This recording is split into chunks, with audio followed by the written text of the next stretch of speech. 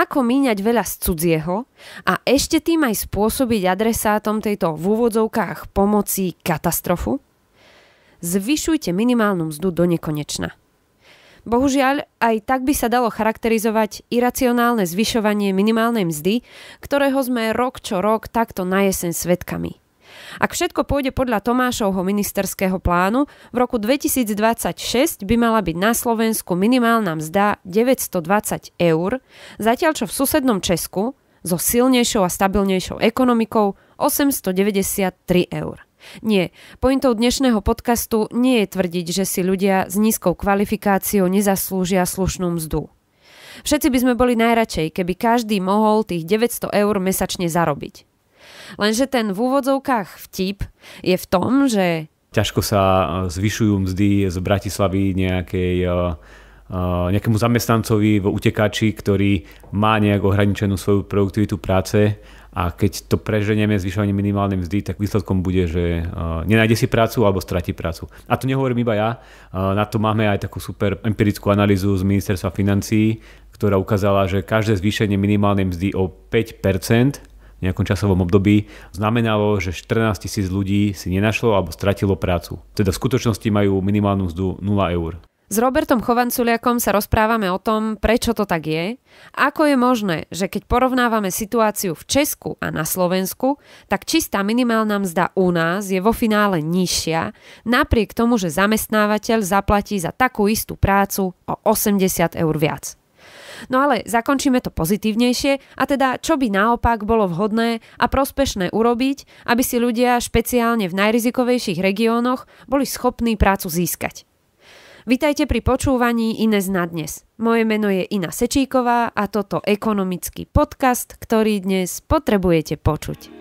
Počúvate podcast. Počúvate podcast Ines na dnes. Do parlamentu smeruje okrem iných aj návrh na zvýšenie minimálnej mzdy na 60% priemernej mzdy spred dvoch rokov. Už takáto formulácia je taká krkolomná a pozrieme sa na to. Vítam pri tejto téme opäť teba, Robo, vítaj v Ines na dnes. Stáleho hostia, uh, Roba. Áno, obľúbeného hostia. A k stálej téme na jeseň, minimálna mzda, to je taká jesenná téma, to vždy si spájam s, pada- s padaním listov. Padaním listov a Halloweenom. Gaštanmi. Áno, no ty dlhodobo upozorňuješ na negatívne dopady neprimerane silného zvyšovania štátom stanovenej minimálnej mzdy.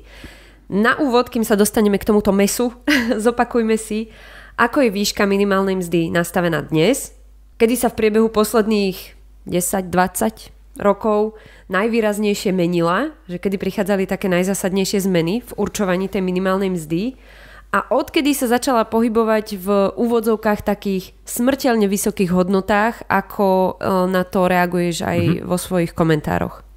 Tak momentálne minimálna mzda 750 eur a presne ako si popísala sa vypočítava zložitým vzorčekom, e, kde je 57% e, vlastne z priemernej mzdy 2 roky dozadu OK, takže vlastne tento návrh je zvýšiť tento na, automat o 3%. Áno, na 60%. Mm-hmm. Ale keď sa teda pozrieme do minulosti a urobíme taký veľmi rýchly exkurs, tak v zásade tá minimálna mzda nabrala na obrátkach posledných 10 rokov. Mm-hmm a za posledných 10 rokov narastla o nejakých 113%. Prepač, to je vlastne presne ten nejaký 2014, keď sa začalo aj s obrovskými sociálnymi balíčkami, Áno, že? presne to je to mm-hmm. obdobie, keď sa na 1. mája vždycky uh, pán uh, Robert Fico postavil pred nejaké publikum a začal tam rozprávať a do továrne. o tom. Áno, začal rozprávať o tom, ako teda zvýši minimálnu mzdu. Stala sa z toho taká politická téma. A teda posluchačom asi nemusí nič povedať také číslo, že 118%, že čo to vlastne znamená, tak je dobre si to porovnať s tým, ako rastli iné podobné veličiny. Tak napríklad mm-hmm. priemerná mzda za toto obdobie narastla o 78%, mm-hmm. takže vidíme, že tá minimálna takže mzda rastla ešte raz nech to zdôrazníme, 118% je nárast minimálnej mzdy za posledných 10 rokov. Áno, áno. Okay. A priemerná o nejakých 78 mm-hmm. a existuje aj porovnanie, ktoré sa pozerá na nárast produktivity práce. Mm-hmm a ten bol niekde na úrovni nejakých 59%, teda v zásade polovica tak. z toho rastu priemer uh, minimálnej mzdy. Minimálnej mzdy. No a už tu podľa mňa aj, ak by sme viac nevedeli o tom, kto počul uh, nikdy nič a len toto, tak už ti musia blikať veľké červené kontrolky, no, že tu niečo není OK. Niektorí ľudia sa môžu tešiť, lebo tak minimálna mzda to je mzda, ktorú zarába človek a všetci chceme, aby mali ľudia vyššie mzdy, to chcem aj ja ale nefunguje ja, to takto áno. jednoducho. Ja, ja som ti do toho skočil, nie, nie, nie, ty mi veľmi... skačeš do toho môjho, ale ja sa nechám zastaviť a iba dodám, že teda uh, uh, minimálna mzda je taký akby uh, pekný, má pekný cieľ, ale nie je to úplne ten najlepší prostriedok, ako dosiahnuť uh, vyššiu životnú úroveň, lebo ťažko sa zvyšujú mzdy z Bratislavy nejakej uh, nejakému zamestnancovi v utekači, ktorý má nejak ohraničenú svoju produktivitu práce a keď to preženieme zvyšovanie minimálnej mzdy, tak výsledkom, výsledkom bude, že uh, nenájde si prácu alebo stratí prácu. A to nehovorím iba ja, uh, na to máme aj takú super uh, empirickú analýzu z ministerstva financí, myslím, že nejaké dva roky stará, ktorá ukázala, že každé zvýšenie minimálnej mzdy o 5% v nejakom časovom období znamenalo, že 14 tisíc ľudí si nenašlo alebo stratilo prácu. A to, a, ho, a tú štúdiu majú priamo uh, vyrobenú ministerstvom, hej? Ministerstvom financí, IFP. Áno, áno. A znovu opakujem, o 5% a na Slovensku za posledných 14 rokov zrástla o 118%. A ono samozrejme to neznamená, že tí ľudia ostanú navždy nezamestnaní, približne Jasné. polovica si e, nejak nájde prácu, ale stále sú to tisícky ľudí, ako keby každý rok, a keď to zrátame e, za tú dekádu, tak si dovolím tvrdiť, že sú to až 10 tisíce ľudí, ktorých sme kvôli vysoké minimálnej mzde odsudili na nezamestnanosť. Teda v skutočnosti majú minimálnu mzdu 0 eur. Áno, tak ako hovoríš, namiesto minimálnej mzdy stanovenej e, formálne štátom, teda mhm. teraz tých 750, tak majú nulu. Presne, že toto je podľa mňa krásne vystihnuté celá tá pointa, že keď hovoríme o takejto téme, tak presne emočne nás to ťahá k tomu, že naozaj ľudia, ktorí majú to najnižšie vzdelanie, ťažko si hľadajú lepšie platenú prácu, tak správme niečo, veď super, tak tá minimálna mzda, aspoň ich nebude môcť nikto zdierať, naozaj ich musí zaplatiť aspoň takto, aby mohli proste aspoň základné veci a pro, zaplatiť e, účty, základné fungovanie. A dôležité je toto zdôrazniť, podľa mňa, keby sme aj viac nenahrali dnes, tak uh, toto je tá pointa, že ten efekt takéhoto neúmerného zvyšovania minimálnej mzdy je nakoniec presne opačný, že Áno, a niektorí ľudia majú takú predstavu, že no, keby sme tú minimálnu mzdu nezvyšovali, tak tým ľuďom ne, nezrastú mzdy a proste budú, presne ak si povedal, odsudení na nejakú výraznú chudobu, ale uh, my vidíme, my máme pekné dáta o nejakých uh, 95% ľudí, ktorí nepoberajú minimálnu mzdu a ktorým uh, za tých posledných 10 rokov zrastla mzda o 78% v priemere. Mm, mm, mm. Takže my vidíme, že ten trh, aj keď teda sa o ňom čo rozpráva, tak dokáže zabezpečiť ponuka a dopyt, že mzdy rastú aj bez toho, aby musel pán Robert Fico 1. maja kričať nejaké čísla. Jasné, tu iba o, typicky znova a znova zdôrazním, že často pod, no, také protiargumenty sú, no jasné, vy tam hovoríte, že ten trh, ale to vôbec nie je nič také, to nie je žiadna dokonalá vec, tak asi iba by zaznelo, že tu nie je cieľ ani vôbec idea taká, že trh je nejaká dokonalá vec, ktorá nemá nejaké nedostatky. Mm-hmm. Je to tak? Súhlasím. Dobre, dobre. Uh, lebo často, často sa tá diskusia otočí na také kontra, ano, že ano. Uh, ten trh neurobí zázraky, neurobí jednorožcový svet, tak tým pádom je zlý. No a to je nešťastné stavať do takéhoto čierno-bieleho svetla, že to si myslím, že je no, no, veľká škoda. Nešťastie je, že potom tí ľudia sa nepozrú na tú alternatívu, že čo je alternatíva a, tak. a alternatíva, keď je pre niekoho zvyšovanie minimálnej mzdy, tak tým de facto spôsobí to, čo sme sa rozprávali. Hej, no, OK. Dajme to ale do širšieho kontextu. Aktuálne prebieha diskusia o zvyšovaní minimálnej mzdy aj v Českej republike. Ako k tomu pristupujú oni? Predsa len sú silnejšia ekonomika. Áno, No v Čechách napriek tomu, že e, majú vyššie mzdy, tak pristupujú k tomu trochu triezvejšie. A tam sa nepozerajú na to, e, koľko ľudia zarábali dva roky dozadu, aby urobili nejaký vzorček, mm-hmm. ale pozerajú sa rok dopredu. Že snažia sa odhadnúť, aká bude priemerná mzda na Nostradamovia. Áno, aká bude priemerná mzda budúci rok. A oni si nastavili, že teda e, minimálna mzda bude ten nasledujúci rok nejakých 43,4%. Keby sme sa pozreli, priemernej mzdy. Priemernej mzdy. Keby sme sa pozreli na rok 2026, tak to znamená, že v Čechách by mala byť minimálna mzda na úrovni nejakých 893 eur. Uh-huh, a teraz na Slovensku, ak by sa podarilo presadiť ten zákon, ktorý pôjde do parlamentu, tak by to znamenalo, že minimálna mzda bude 920 eur. Ano. Teda vyššia o nejakých, krát tam 20 čosi eur. Ale to ešte nezohľadňuje e, celý ten rozdiel, mm-hmm. lebo my mhm. vieme, že tu sa rozprávame teraz o polohrubej mzde, ale polohrubá mzda úplne nikoho nezaujíma. nezaujíma Odkážeme ani... aj na, teda v linku odkážem aj na širšie okolo polohrubej mzdy. V princípe môžeme povedať pre zjednodušenie, že stále to nie je očistené o všetky e, dane a odvody. Presne, presne. Takže keď sa pozrieme na to, že koľko budú mzdové náklady na tieto minimálne mzdy, tak v Českej republike to bude 1195 eur. Mm-hmm a na Slovensku 1253 eh, eur. Teda ten rozdiel sa eh, vzrastie skoro na 60 eur. Mm-hmm. Takže zamestnávateľia budú platiť v bohatšom Česku menej o 60 eur ľuďom s minimálnou mzdou ako na Slovensku. náklady na toho zamestnanca áno, áno. sú proste nižšie. Áno, áno. A, teraz, a teraz sa drž, a teraz sa podrž, ale Držím? zároveň slovenskí uh, zamestnanci dostanú menej do svojej peňaženky forme čistej výplaty ako tí českí. Ktorí majú tú hrubú, áno. polohrubú mzdu nastavenú nižšie. Áno, áno. Tak to je šialené, nie? Áno, od nejakých 26 eur. No a to, roz, to, to vysvetlenie tohto eh, paradoxu alebo šialenosti je vysoko daňovo dodové zaťaženie práce na Slovensku, o ktorom, stále, o ktorom stále rozprávame. Takže... Prepač, je to skutočne tak nejak 63% až? Keď to zrátame dokopy? 63 eur.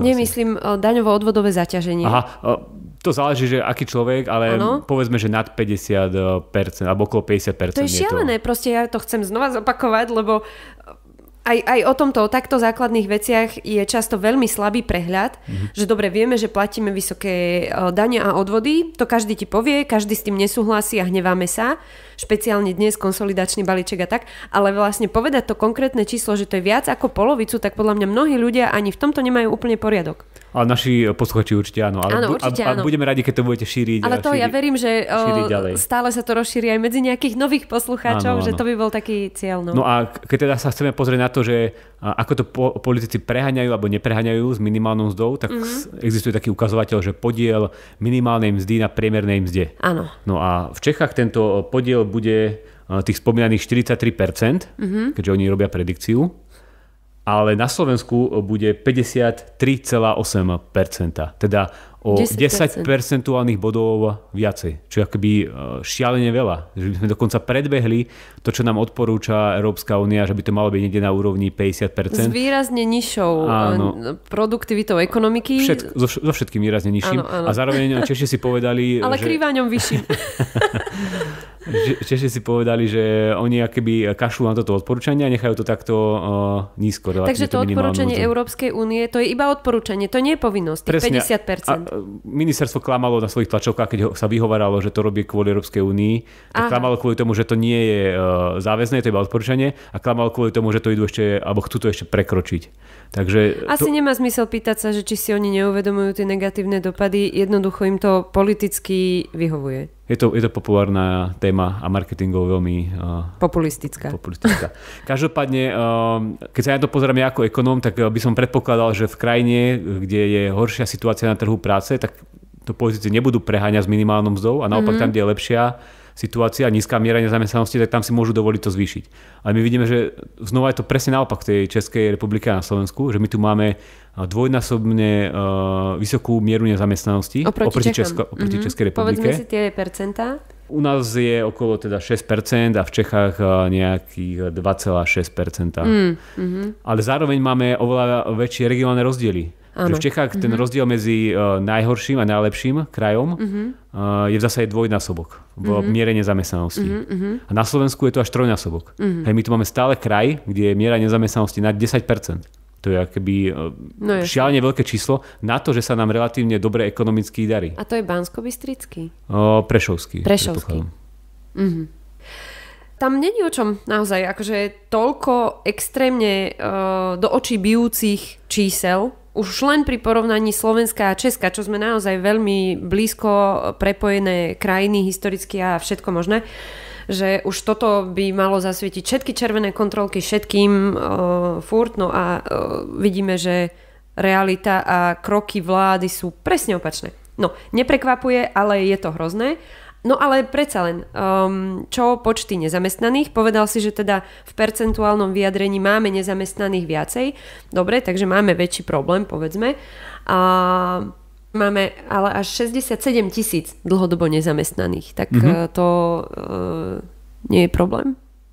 No to, to je problém a uh, ministerstvo na to zvykne povedať, že áno, máme tu síce týchto dlhodobo nezamestnaných, ale zároveň máme na Slovensku uh, momentálnej situácii nejakých 95 tisíc voľných pracovných miest.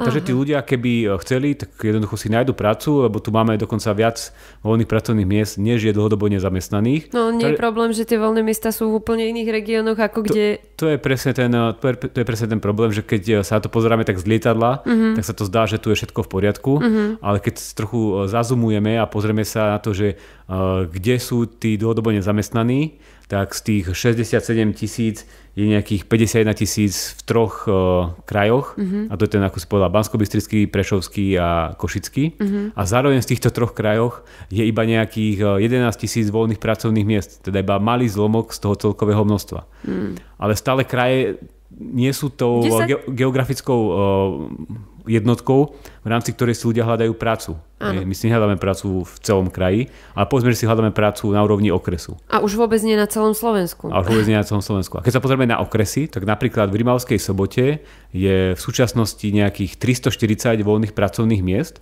ale zároveň je tam viac ako 4700 dlhodobo nezamestnaných uh, ľudí. Uh-huh. A keď sa pozrieme na všetkých nezamestnaných, tak to číslo je na úrovni 7400. Teda na jedno voľné pracovné uh-huh. miesto tam stoja v rade 20 ľudia. Uh-huh. A tým pádom nemôžeme hovoriť šanca. o tom, že e, tým ľuďom sa nechce pracovať, ale oni jednoducho nemajú príležitosť. Ano. A nemajú tu príležitosť aj kvôli tomu, že sme to takto preháňali so zvyšovaním minimálnej mzdy. Zase na tom príklade, jednoducho tie náklady pre zamestnávateľa stanovené štátom, koľko musí byť tá minimálna mzda, čo ako sme už spomínali, ako si to popísal, násobne vyššie sú reálne náklady, ako je tá hrubá, polohrubá mzda pre uh, toho potenciálneho zamestnanca, tak tie náklady sú tak veľké, že on si to jednoducho nemôže dovoliť a to pracovné miesto proste nie je a výsledok je, že ten človek nie že zarába nízku mzdu, on zarába nula, ako hovoríš. A no to je... tie čísla sú pomerne eh, veľké, keď som si teraz vlastne to uvedomil, keď, to, keď o tom rozprávaš, ano. že v tom roku 2026, keď tá minimálna mzda má byť 920 eur, to znamená, že mzdové náklady budú nejakých 1253 eur a ak sa ten človek počas svojej práce dotkne peňazí, mm. teda je nejaká predavačka... Áno, tam ešte do toho vstupujú tie platové triedy. Tak áno, tak sa na neho vzťahuje druhý stupeň, to znamená ešte o 20% viacej. Takže takýto človek by musel vytvoriť každý mesiac stabilnú hodnotu viac ako 1500 eur, aby sa ho oplatilo zamestnať. A to si teraz predstavme nejaký e, malý obchodík, mm. niekde v Utekači, alebo nejakú kaviareň, niekde v Sobranciach. Jednoducho to nedáva ekonomický zmysel a preto tam to pracovné miesto nevznikne. Áno, áno. A ak aj je je to človek, ktorý má založený nejaký biznis, tak skôr ho to motivuje sa presunúť, ak je šikovný, lebo naozaj, že nemá šancu to ufinancovať v takomto regióne. Tak potom sa nám vlastne udeje presný opak. Namiesto toho, aby to podporilo práve hej, nejaké zaostávajúce regióny, tak to od nich stiahne preč vlastne akékoľvek takéto rozbiehajúce sa alebo aj možno rozbehnuté uh, aj malé firmy. Aj to sa deje? No určite tam to vplýva aj na nejakú vnútornú uh, mobilitu a ako ľudia utekajú z tých regiónov. Keď tam nie je práca, nie je tam kúpna sila, tak to jednoducho uh, nefunguje. OK, no vymenovali sme naozaj všetko hrozné, strašne veľa červených vlajok, blikajúcich alarmov. A teraz teda povedz OK, nie je cesta zvyšovať minimálnu mzdu, uh, tak ako sa k tomu dostať? Ktorou cestou sa vybrať? Tak asi sa nepodarí uh, zrušiť minimálnu mzdu, ale sú zase dve také uh, schodné cesty. Jedna je ju zmraziť, mm-hmm. teda keďže to posledných 10 rokov extrémne preháňali politici, tak teraz na pár rokov by mala ostať rovnaká. To inak konec koncov odporúčalo aj práve ministerstvo financií počas covidu v roku 2020, keď napísali taký mm-hmm. komentár, že by sa mala zmraziť minimálna mzda alebo potom zaviesť nejaké regionálne eh, minimálne mzdy, aby viacej a lepšie ozrkadlovali to, aká je situácia v tom regióne. Nakoniec toto nie je žiadna špeciálna novinka.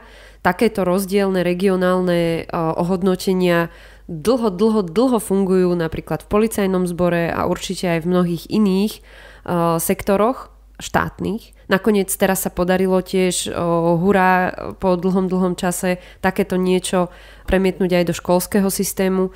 No jednoducho, že není to žiadna akože super turbonová vec, tak e, nie je problém, alebo nemal by byť problém o tom uvažovať, keďže je to už zaužívaný systém. Len to nesmú robiť uh, zle. Že nesmú to robiť mm. tak, že všade inde, napríklad v tých väčších mestách zvýšia tú minimálnu mzdu a na tom východe mm. ponechajú rovnakú. Že to mm. musí z opačnou stranou. Malo by to byť teda, že zmrazené a znížené. No znížené v tých chudobnejších tak, regiónoch. Tak, tak, tak. Jasné, jasné. Dobre, napadá ti ešte niečo, čo by si rád na záver zaklincoval? Nejaký taký tip, trik? Uh... No, napadlo ma iba dodať, že minimálna mzda nedokáže odstraniť chudobu, ale dokáže iba prerozdielovať. Že síce niektorým ľuďom trošku zvýšime ich príjem, ale zároveň odsudíme veľké množstvo ľudí na to, že si nemôžu ani nájsť prácu. No, tak to nerobme. Počúvajte nás aj tam hore. Ďakujem veľmi pekne. Ďakujem aj ja.